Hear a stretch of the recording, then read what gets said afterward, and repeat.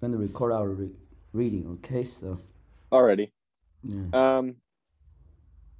So, let's see. It started with Genesis, four books in the collection Genesis, Exodus, Leviticus, Numbers. So, A little strange on my computer, so I'm gonna pull it up on my Kindle because it sent it over to this. okay.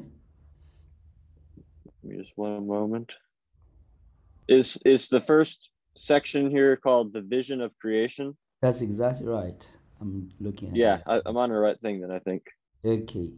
I'm going to read for the first parts, if that's okay for you. That's great. we change uh, because I never read these things, you know me, so I don't Yeah. know what's going on. If we had to change the textbook, whatever, we can read other books, okay? But I like his writing.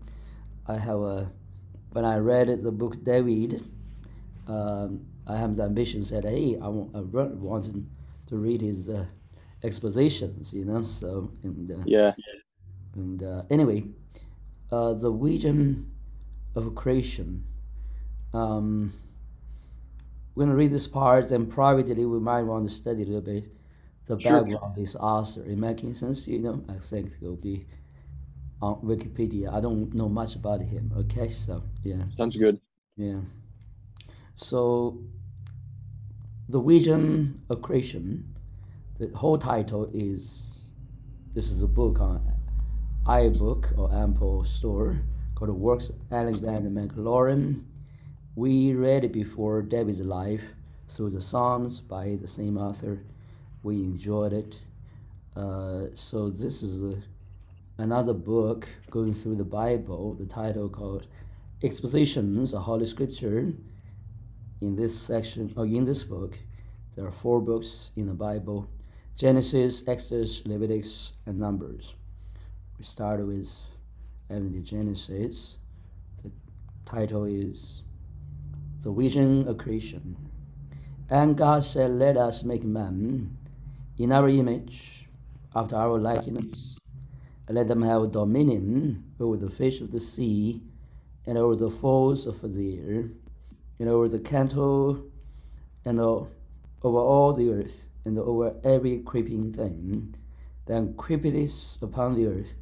So God created him by his own image, in the image of God, created he him, male and female created he them, and God blessed them, and God said unto them, Be fruitful, and multiply, and replenish the earth, and subdue it, and have dominion over the fish of the sea, and over the fowl of the air, and over every living thing that moveth upon the earth.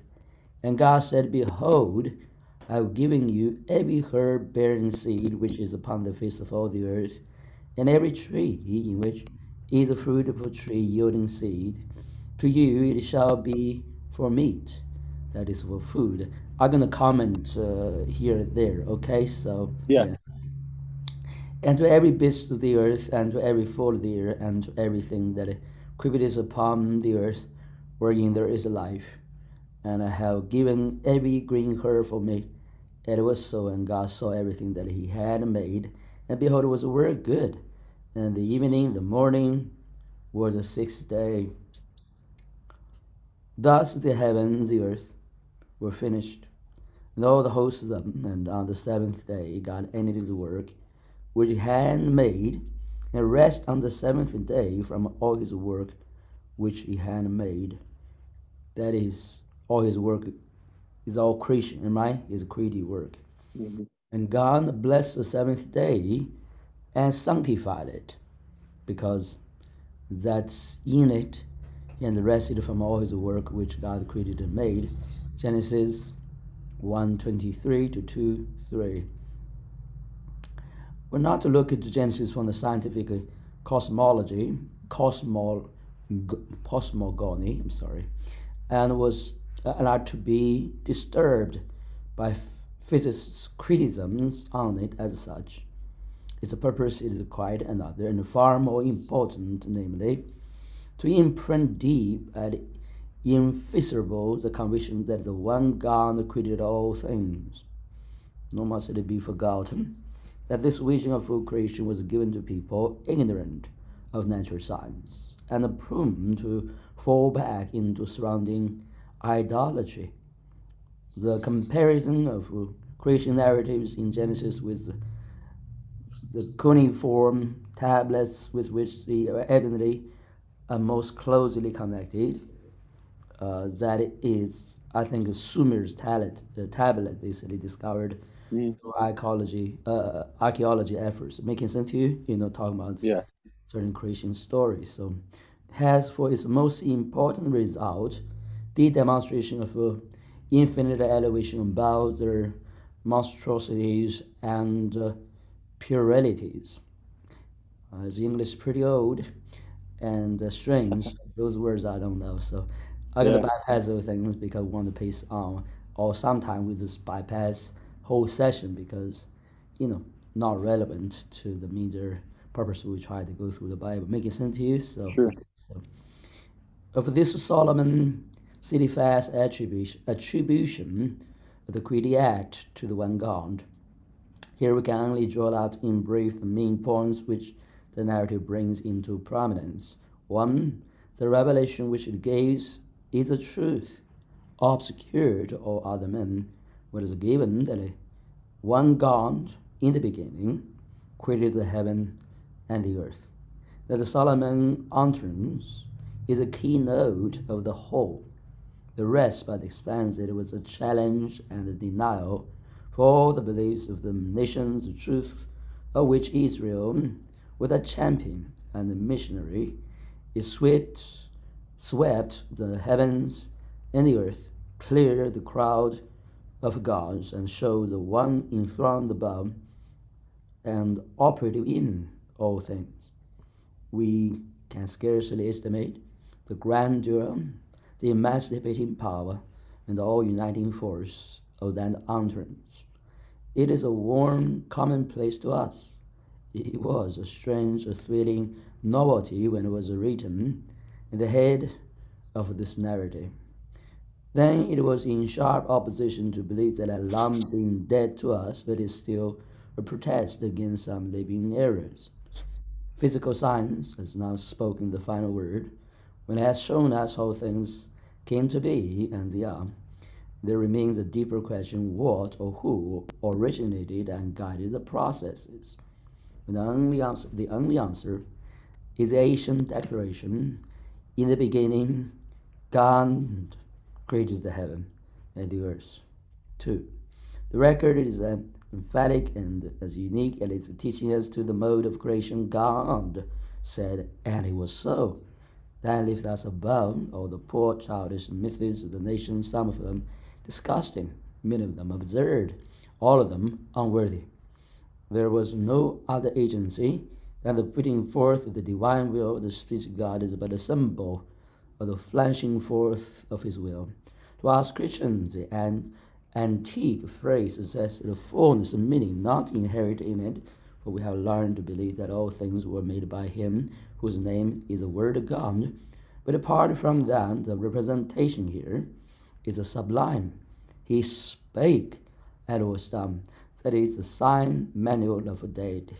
Three, the completeness of creation is emphasized. We note not only the recurrent and it was so, which declares a perfect correspondence result with the divine intention, but also the recurring God soul that it was good. His ideals always realized. The divine artist never found that the embodiment of his thought falls short of his thought. What act is always a thought and being? What it will but felt the fleshly scream? But he has no hindrances, no incompleteness in his creative work, and the very Sabbath rest with which the narrative closes symbolizes not his need of repose, but his perfect accomplishment is a purpose. God ceased from his works because the works were finished, and he saw that it all was very good. For the progressiveness of the creative process is brought into strong relief. The work of the first four days is a preparation of the dwelling place for living creatures who are afterwards created to inhabit it, how far the details of those days work coincide with the order, and science has made it out. We're not careful to ask here. The primeval, what is what? Primeval chaos. Primeval, yeah. Mm, primeval chaoses. The separation of the waters above from the water beneath. The emergence of the land. I don't want to presume on you. My reading is okay. Uh, is that okay for you? I'm the reading. Absolutely, yeah. Okay. The emergence of the land, the beginning of vegetation there, the shining out of the sun and the dense mist cleared, all find confirmation in modern theories of evolution. But the intention of the whole is much rather to teach that though the simple utterance of the divine will was the agency agent of creation, the manner of it was not the sudden calling of the world, as men knew it, into being, but a majestic slow advance by stages, not at once, am I? Stage by stage, Mm. identify by each day's work. Each of which, so the day is an age. That's why Jesus taught Peter, I? Peter answered in Second Peter, for to God, a age or a day is a thousand years. Making sense to you? So yeah, thousand years is also a symbolic time frame, basically an age. You making sense to you? A millennium is an age, basically. It's not actually exactly thousand years. That's those words, notion uh, borrowed from Jewish thoughts, making Jewish expressions. Okay, so that make that cleared up, am I? Everybody's talking about millennium as with exactly thousand years. Maybe God do precise things, but most likely the implied age. Making sense to you? You know, so uh, let's go on. Remember many of the old ancient ones, their life is almost 500, sometimes even 900 years old, am I? Many generations. So Right. making sense to you? So yeah, but in uh, one age that is prior to Noah's time, not your time. okay, making sense to you? Yes. so- Yeah.